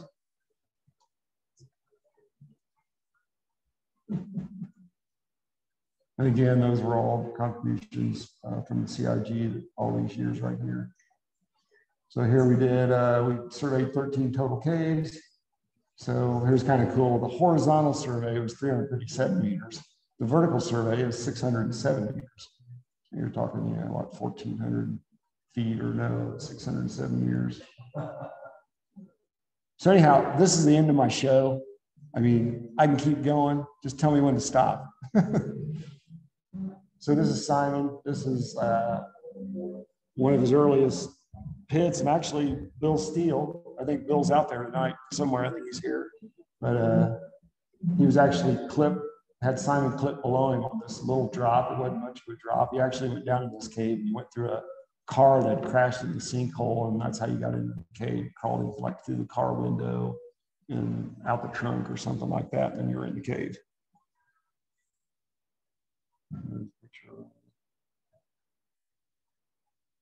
And uh, yeah, here's one of the early pictures of, well, probably Simon's first pit, but 2009, so he would have been like seven, seven or eight.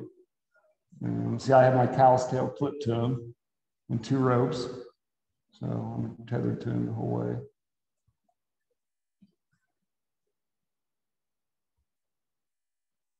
So here's back to our home page. This is where I live in Oaxaca. Plantation. Always lots of kids around, especially when Simon was little. You had like 15, 20 kids there every day playing soccer and getting in fights and picking on their sisters and trying to steal shit and you name it, they were doing it. And then uh, this is our neighbor, Juana. That's her stove. So, you know, if your wife's ever complaining about cooking, just show them this picture and tell them you can get them a stove like that. And actually, Juana had a stove, but she got rid of it because she likes picking up her firewood better. She's like, I don't know why, but I'd rather go out and collect my own firewood. And uh, yeah, these guys became a really good friends of mine.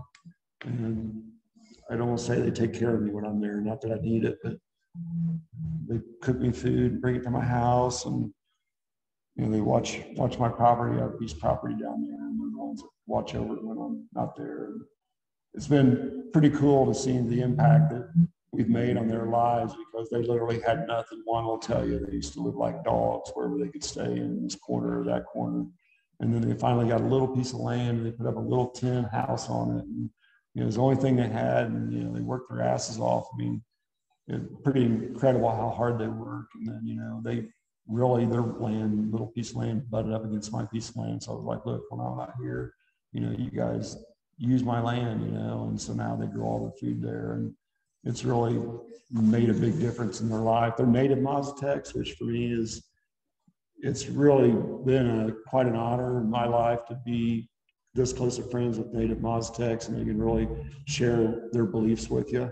And, uh, you know, I remember one time Aida was there with me and I was telling Juana how Aida sometimes woke up at night. You know, she was restless. She'd wake up in the middle of the night and Juana looks at me with this big look of concern and she was like, well, take lime, which is just like dust, like essentially concrete dust, and throw it in her face. And if her eyes get pasted shut, she's not a witch. But if she opens them up and she can see, she's a witch. and well, Aida was like, Juana? yeah, they look out for me. So these are some of the hazards in the Sierra. Like you, know, you can drive along, and all of a sudden, from the night before, from a rain, there's these big boulders that fall down in this road. This is uh, some of the work we did in Cerro Caballero again.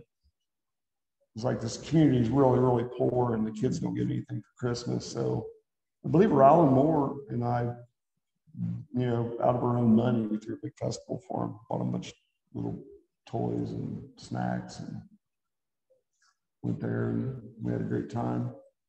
And then uh, you wouldn't think they would run us out of gunpoint. Yeah, I know who knew. You know, we did everything we could for them. And, you know, I guess we didn't spread the love far and deep enough. So then this is the year we went up to, this is uh, Cerro Liquidambre. So yeah, as Ron said, you wouldn't think they'd come after you with guns, but sometimes they will. So this guy on the right is Ben Feinberg. He's actually written a book about, Sierra Mazateca.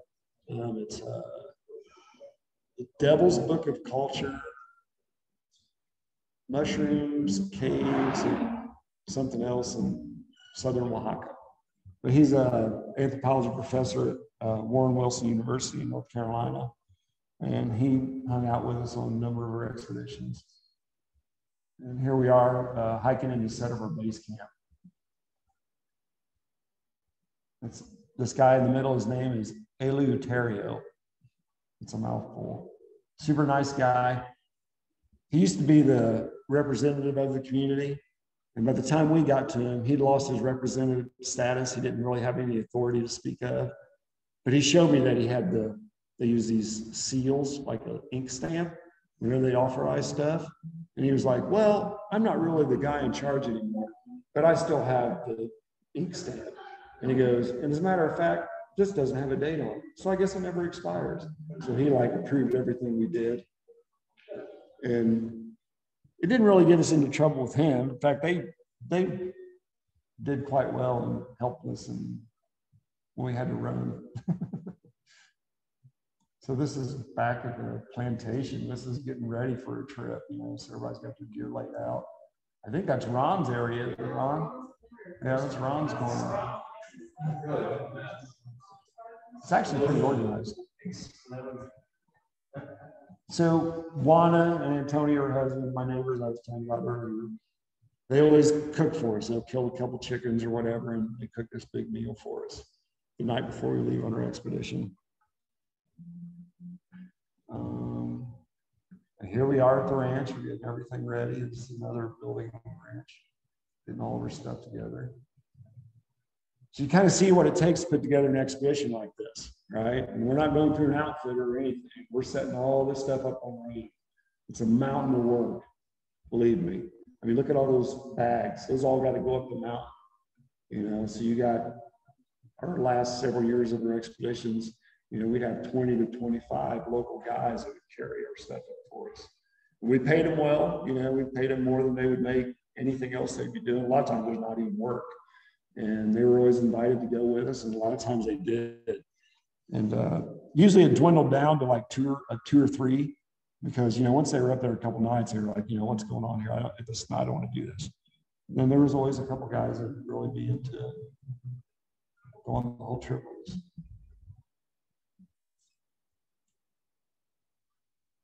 So this is when we actually went up to a base camp that Aida, myself, and Ben Feinberg, Eleuterio, and uh, another guy went up and said, so here we are hiking up.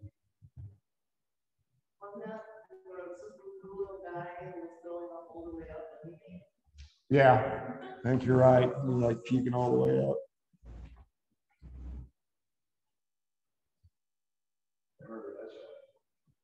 Yeah, here we are. Paying guys for the work. Of them hanging out. You kind of see that's the beginning of the base camp.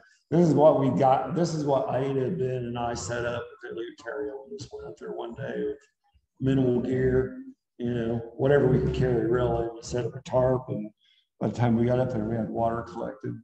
It was kind of a rain catch system. Yeah, we just catch water and then we'll filter it with some kind of net to get all the jungle debris out. And, you know, it was bad years ago. Greg could attest to this, you know, like the old pure water filters from the 90s, they would plug up within like a couple gallons just from all the organic microscopic debris in the water. And it was, it was rough, you know, trying to figure out how to filter water. A lot of times you just end up boiling water. And it was kind of cool. The more time that we spent in the jungle, we started actually learning what wood we could burn, even in like super wet conditions, and it would burn. And we pretty much had a fire going 24 7, cooking food on it and coffee. And groups would come in one o'clock in the morning sometimes, and we'd all be ready for them. So, all these guys and more, they came back to help us out later on the trip. This is the little net we used to get all the debris out of the water.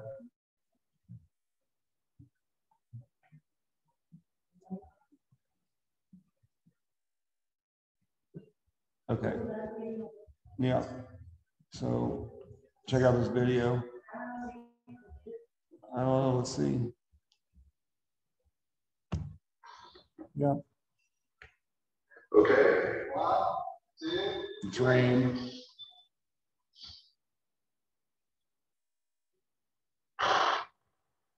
Take a sleepy time.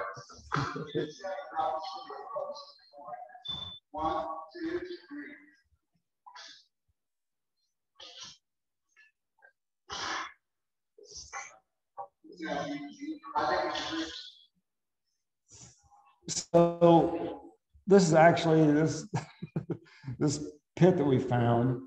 We found this thing and we wanted to go to it, of course, but it was kind of a long ways out. So we were like, you know what? You know, some people want to stay in camp and rest. I think maybe we all rested in camp one day, but then two days after that, Eleuterio was like, I know where this pit is, and I got to figure out how to get to it. But I want to take you to it. So it was this pit, uh, Sótano de los Martinez, which is his last name. Um, it was 117 meter pit. Um, I think it, I can't remember. Do you remember on that? It was from the high side. Did we shoot that to be that deep, or was that the low side? This, surveyed. yeah, I think it was surveyed depth. Yeah. So anyhow, this thing was enormous, and it was in the middle of the jungle through all these karsts. I mean, it was like a maze to get to it. You know, it was pretty incredible that he could even find it. And he says he knows where another one is, but he can't figure out how to get there. So imagine you're walking in a train and you know something's there, but you don't know how to get to it. I mean, that kind of describes it's not because you can't find it, you know where it is. It's just how do I get there? How do I get around all this karst to get you to this thing so we can rig and go down it? You see the bottom, how big the bottom of this thing is. Yeah, there was like we were yeah, wading through guano, like background, like knee deep. It was just like dust. It was like going through it. It was dry.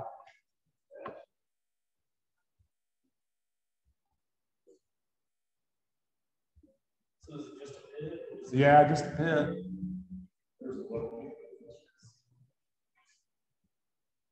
So I think this may have been before we can get back and go to the other pit that uh,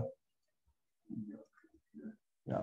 So anyhow, uh, we were talking about being run out earlier. So we found the pit, the video where we threw the rock down it. Then we went to Sótano de los Martinez and we were so excited about going back. And when we got back from Martinez, there was a group of guys that were loggers and they found out we were up there. And they come into camp while half the camp was gone. They were threatening to take the other half camp back to their village and you know just kind of kidnap them and run off. Unfortunately, there was a guy a local guy that talked sense to them. They didn't end up doing that. But yeah, Simon was involved in that. Adam was involved in that. And you know, I wasn't there during the time. You know, all I got, I got back like 10 o'clock that night, and Marion was like, "You got to go back down to Palacio at like 10 in the morning." You know, so I had to hike off the mountain in the morning, like get up early at dark and hike down there. And there was like 12 guys there. I mean, these guys came in with like you know weapons, like you know, I wasn't there, but nine millimeter, you know, think some of them had some automatic guns and shotguns, and we're basically, you guys are out of here. You know, we don't want you here. So, you know, I went down to Palacio the next day and met with them, and Marion was with me. And, you know, it was kind of heated. You know, they were like, you know, no, no, in certain terms, you guys are going to stay up there. You're leaving. And the, the, I was actually the vice president was like, we're recommending that you suspend your expedition. Um, you're lucky they they let you go and they agreed to meet with you here because there's no telling what these guys may have done. So, you know, we thought, yeah, it's best. I mean, we never really forced ourselves into anything and we had permission to go here, but, you know, we just went to the wrong area and they didn't want us there. So we left. I think it's worth mentioning that we ran south illegally logging the nature preserve yeah, uh, that was yeah, definitely. So that was the other point is that we were up there and we witnessed that they were logging, you know, nature reserve. They're not supposed to be up there logging that shit. So they were like, you know, we got to get these guys out of here before they tell somebody. They're also breaking rules. Yeah, yeah, yeah, for sure. And I got about five minutes here. Okay, cool. All right. Well, I mean, I got you know most of my shit in. And then this is one of the year we went back to San Juan, Quetzalcoatl, and you know, we did some pits up there. Um, school supplies. CIG, thanks you guys. This is a Guatemalan milk snake that was in the house where I live, and it's you know it's not uncommon to get all kinds of snakes in your house there. Mostly coral snakes, where we find. This is not a coral snake, by the way. Uh, it's a Guatemalan milk snake. It's non-poisonous. Yeah, and then this is the year I think Joe passed away. I'm going to dedicate this presentation to him. So anyhow, anybody got any questions? Ron's going to take this thing apart. Yeah, I hope y'all enjoyed the show. Yeah, there, there's more and more drones down there now. I mean, you know, we're always kind of careful taking technology down to an area like that because people are so poor and they're going to think all kinds of crazy stuff. Yeah.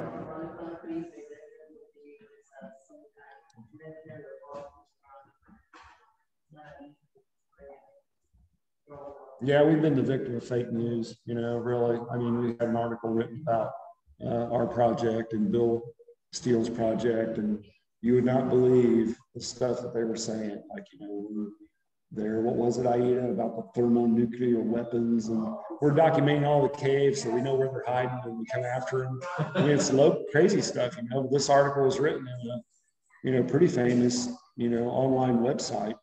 You know.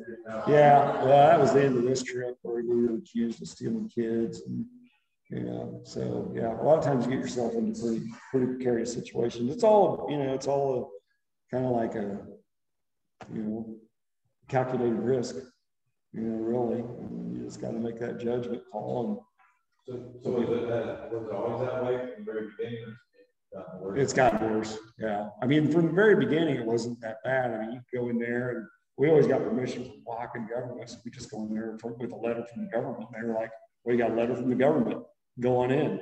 You know, but then over the years, they learned to say no. You know, and then, you know, really what's made it bad now is the narcos have moved in the area uh, the narco traffickers. You know, yeah, just illegal activities. You know, and they're pretty brazen. You know, you know, it's not uncommon to.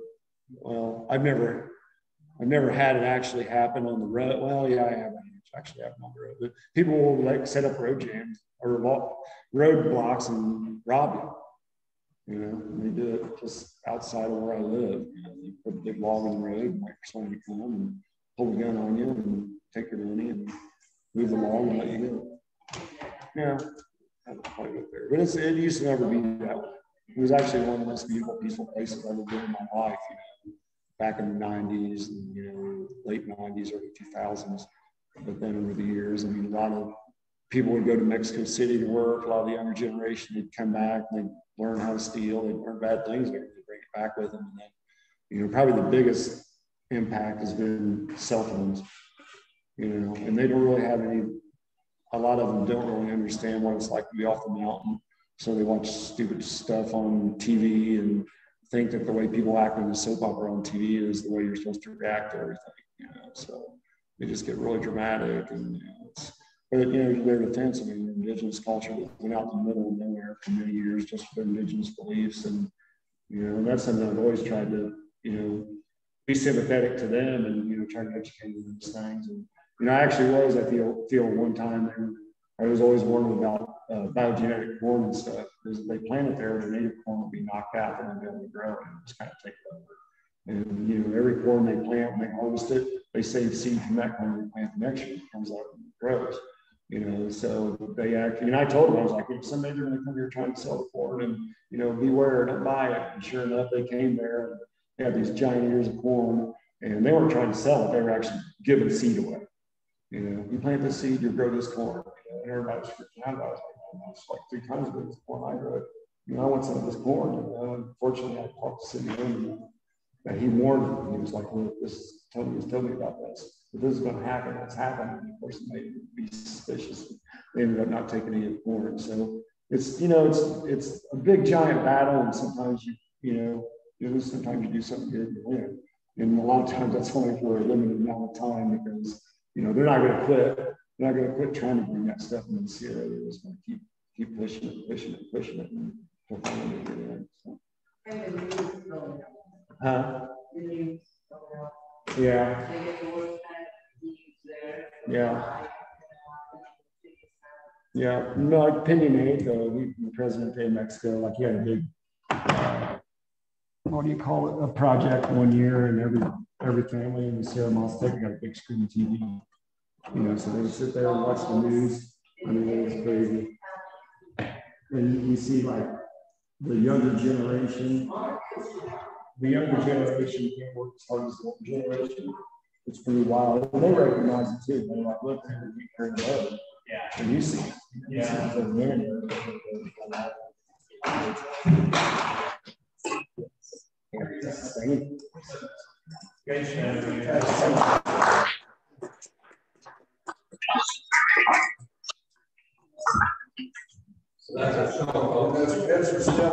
Yeah, that big pit's still up there.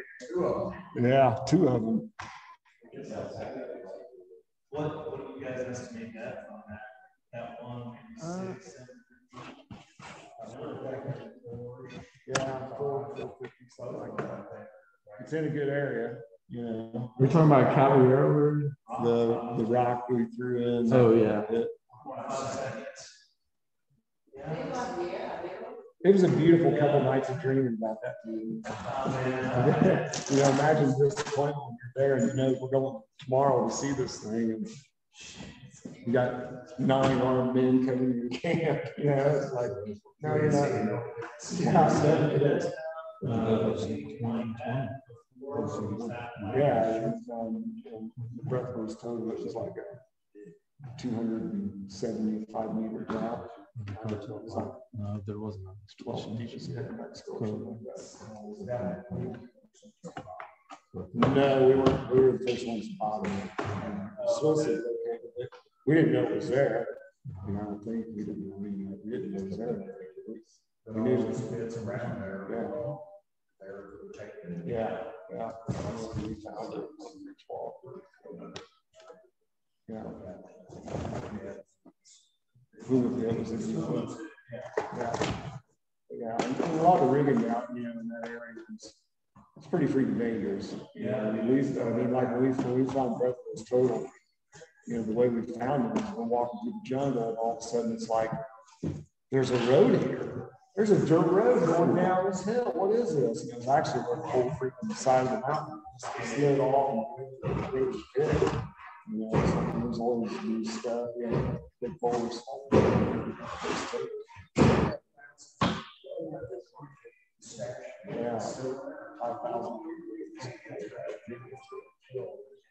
Yeah. Yeah.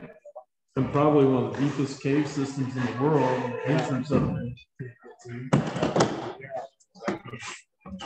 Yeah, maybe someday someone in here.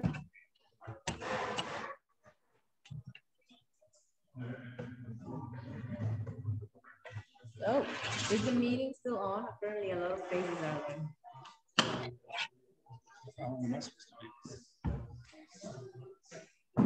Hey, guys.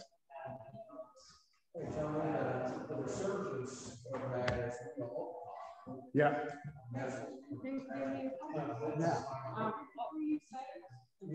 Death marches to death.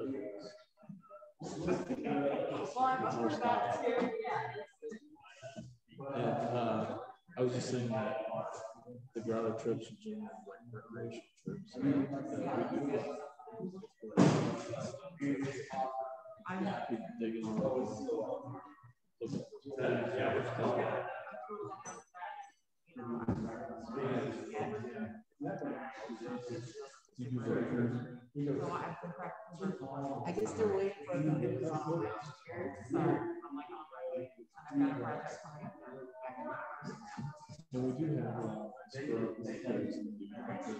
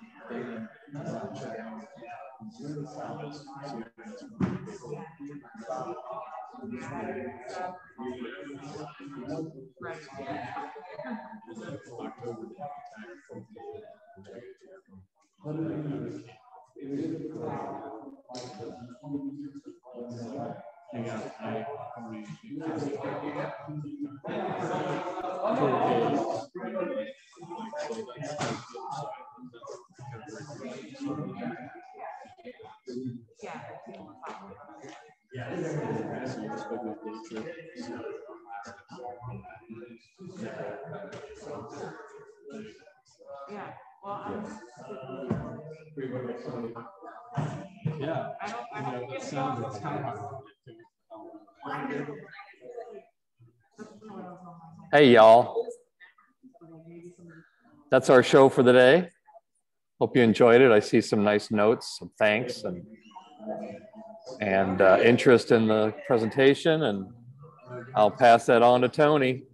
Thanks a lot for showing up. We're all heading to the Slippery Noodle. We'll talk to you guys later. Bye bye.